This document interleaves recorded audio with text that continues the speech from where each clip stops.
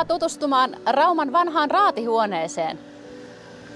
Vanhalla raatihuoneella on ikää jo 247 vuotta ja se on menossa restaurointiin valmistuakseen entistä ehompana 250-vuotisjuhliinsa vuonna 2026.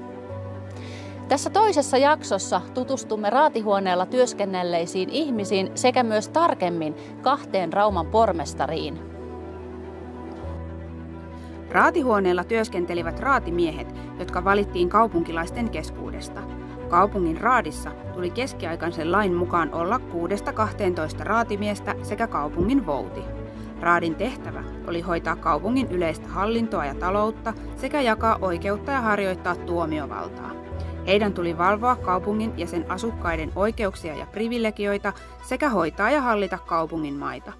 1700-luvulla raati alkoi jakautua kahdeksi eri elimeksi, maistraatiksi, joka hoiti kaupungin hallinnon, ja raastuvan oikeudeksi, joka jakoi oikeutta.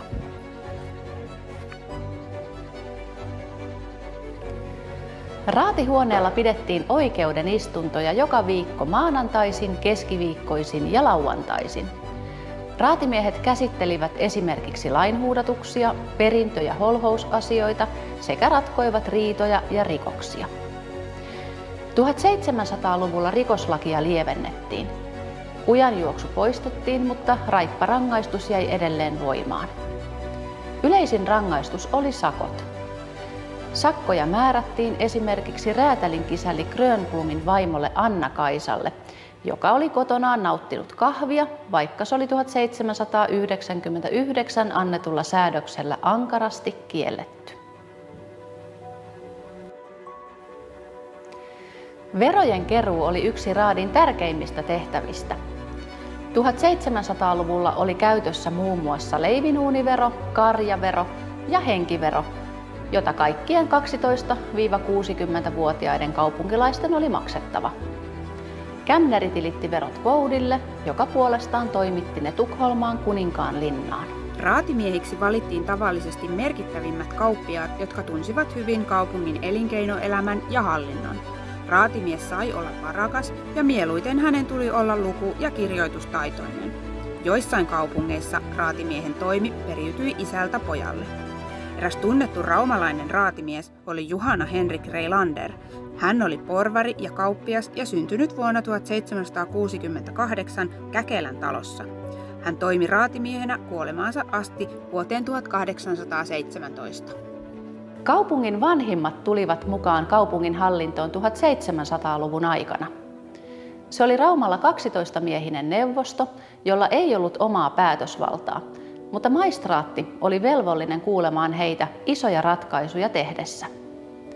Aiemmin oli koko porvariston pitänyt kokoontua juoksevien asioiden käsittelyyn, ja parhaana purjehdusaikana oli ollut haastavaa saada kauppiaita paikalle Saksan ja Tukholman matkoiltaan. Kaupungin vanhimmat valittiin luottamustoimeen eliniäksi. Valitut olivat kokeneita ja arvostettuja kauppiaita ja käsityöläisiä. 1800-luvulla Rauman kaupungin hallinto koostui pormestarista, neljästä raatimiehestä ja 12 kaupungin vanhimmasta.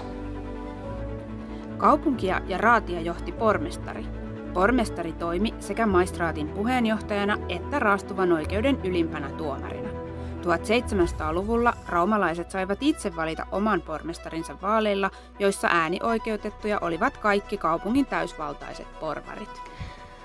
Raatihuoneen rakennusaikana Rauman pormestarina toimi Henrik Akrikola, vähätolvaisen isäntä, jonka toimiin raumalaiset olivat erityisen tyytyväisiä. Henrik Akrikola valittiin vaaleilla Rauman pormestariksi 19. maaliskuuta 1763. Sanotaan, että hän oli Rauman pormestariksi poikkeuksellisen varakas, mutta säästäväinen. Hän hoiti tunnollisesti virkaansa ja saavutti porvariston luottamuksen ja kunnioituksen. Ennen valintaa Rauman pormestariksi hän haki myös uuden kaupungin pormestarin virkaa siinä onnistumatta. Agrikola hoiti Rauman pormestarin tehtävää aina kuolemaansa asti. Viimeisinä vuosinaan hän oli kuitenkin kivulloinen ja joutui olemaan aika ajoin virkavapaalla. Silloin hän vietti aikaa Urjalassa maatilallaan sukulaistensa parissa. Agrikola oli naimaton. Hän kuoli Nuutajärven säterissä vuonna 1781. Henrik Agrikolan kuoleman jälkeen vuonna 1781 Rauman pormestariksi valittiin vanhaan raumalaiseen porvarissukuun kuulunut Juhan Emmanuel Normeen. Hänen pormestarikaudellaan Suomi siirtyi Ruotsin vallan alta osaksi Venäjän suurruhtinaskuntaa. Normeen toimi Rauman pormestarina pitkään, yhteensä 38 vuotta, aina kuolemaansa asti vuoteen 1819. Pormestari Normeen oli pidetty henkilö ja pormestari, ja etenkin hänen pormestarikautensa loppuaikaan kuului vahvasti seuraelämä ja Rauman seurapiirit. Juhan Normeenin vanhemmat olivat raumalainen kauppias ja raatimies Juhana Nurmeen ja Maria Melander. Pormestari Normeenin isä omisti Pinnalan talon, joka on Rauman ensimmäinen kivitalo. Juhan Normeen avioitui vuonna 1775 luutnantin tyttären Maria Elisabeth Tammelanderin kanssa. Pormestari Normeen omisti raatihuoneen takana sijaitsevan Maalarin talon, jossa perhe vietti hohdokasta ja vilkasta seuraelämää. Pidetty pormestari ajautui kautensa loppuvaiheessa porvariston kanssa riitaan palkkaeduista – sekä ikävään selkkaukseen Ruotsin sotilasviranomaisten kanssa vuonna 1808. Normeenista oli tehty ilmianto venäläisystävyydestä ja tämän vuoksi hänet vangittiin ja vietiin Ruotsiin.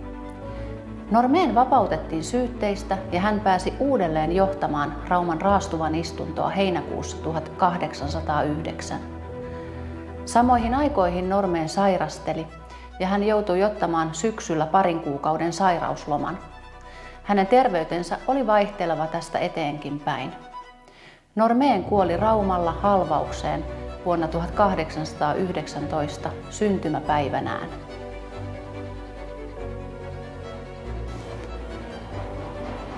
Tiesitkö, että pormestarin toimesta ei aluksi maksettu palkkaa, vaan siitä sai ilmaisen kaalimaan?